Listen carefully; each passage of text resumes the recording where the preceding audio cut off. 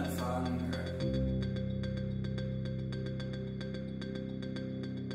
Weil wir gesehen haben, dass die Menschen in Finanzthemen immer wieder die falschen Entscheidungen treffen. Und das nur deshalb, weil die Menschen sich mit den Sachen nicht auskennen.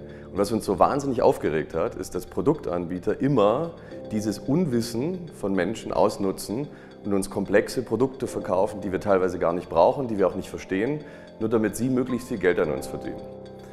Und das wollen wir ändern. Deshalb haben wir Finanztipp gegründet, um Menschen wirklich zu sagen, was für sie das Beste ist und was wir tun würden und welche Sachen wir empfehlen würden und welche Angebote für sie die besten sind.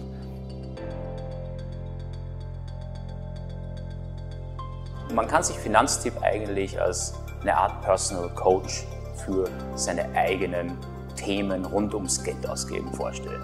Eigentlich ist es ganz einfach. Wir recherchieren all die Themen, mit denen wir uns ständig auseinandersetzen müssen als Verbraucher, so als ob wir für uns selbst nach einer Lösung suchen würden. Und dann kommen wir zu Empfehlungen und die schreiben wir auf.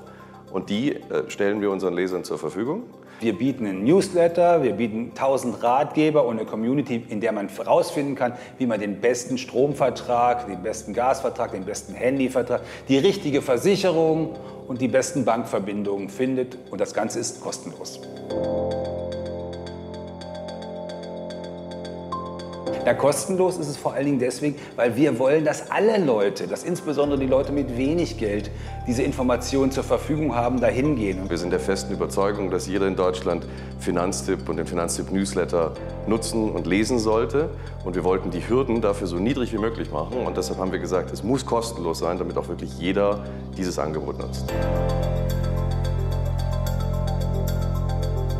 Wir wollten klar zeigen, dass Finanztipp ausschließlich im Interesse der Verbraucher arbeitet und dass es keine Hintergedanken gibt hinter den Empfehlungen, die wir aussprechen. Und über die Gemeinnützigkeit bringen wir genau das zum Ausdruck, denn ein gemeinnütziges Unternehmen muss alle Gewinne, die es erzielt, in den Zweck des Unternehmens stecken. Es ist sozusagen sichergestellt auf die Art und Weise, dass man allem, was Finanztipp tut, blind vertrauen kann.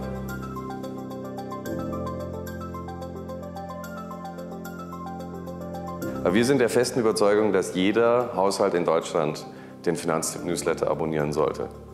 Weil wir dadurch es schaffen, dass Menschen da draußen das Thema Finanzen und Geld endlich verstehen, richtig viel Geld sparen und wir wirklich die Art und Weise, wie diese Finanzindustrie funktioniert, einfach verändern können. Und deshalb ist unser Aufruf, äh, jeder sollte den Finanztipp-Newsletter abonnieren. Und unser Ziel ist es, dass irgendwann mal 10 Millionen Haushalte unseren Newsletter auch bekommen.